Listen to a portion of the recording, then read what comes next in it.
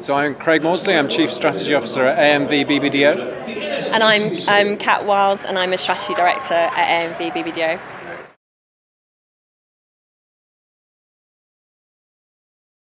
I think the most important thing about entering the Marketing Society Awards is about reading loads of the cases that have been done before, because that's how you learn how to write a great one, and just keep writing and drafting and redrafting until you get it just right.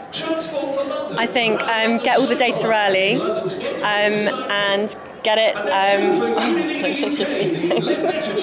um, get the data early, work with the data, try to use it to complement your story, and just keep working and drafting and sweat really hard, and you'll get to your story in the end. I think the great thing about the Sainsbury's Christmas campaign last year was the bravery of it. You know, it was a great thing that was able to put the brand out there with a thing that was so close to the values of the brand, but so brave and such a, an amazing client that helped to make this happen for us, and a fantastic campaign as a result, I think.